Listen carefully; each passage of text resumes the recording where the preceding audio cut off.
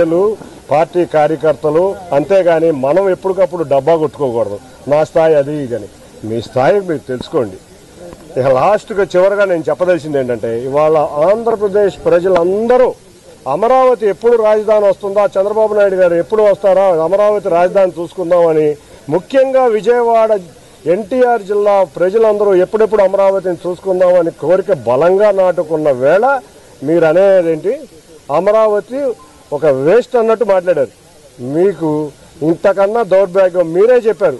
చాలాసార్లు జగన్ ఒక అవినీతిపరుడు అమరావతిని అమరావతిని మూడు రాజధానులని అమరావతిని చెడగొడుతున్నారు. ఇట్లా రకరకాల వ్యాఖ్యలు చేసిన మీరే ఇవాళ వచ్చి అమరావతిని ఇక్కడ వేస్ట్ మూడు రాజధానుల ముద్దని మీరు జగన్ని కౌగలించుకుంటే ఇంతకన్నా దౌర్భాగ్యం ఇంతకన్నా లేదని మీ అందరికీ సవినయంగా చెబుతూ ఇటువంటి మా కుటుంబంలో జరిగిన విషయాలన్నీ అవి మా వ్యక్తిగతం పార్టీకి ఎటువంటి సంబంధం లేదు.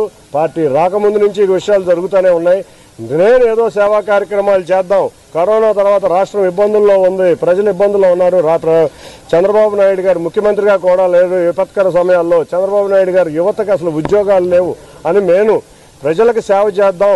ఎంతో కొంత నా నేను సంపాదించిన దాంట్లో ఎంతో కొంత ప్రజల సేవా కార్యక్రమంలో నిమగ్నమై వచ్చానని చెప్తున్నా. ఏ రోజు నేను ఎంపీ కింద ఉంచుతానని అనలేదు. ఏ రోజు మీతో గొడవ ఉందని అనలేదు.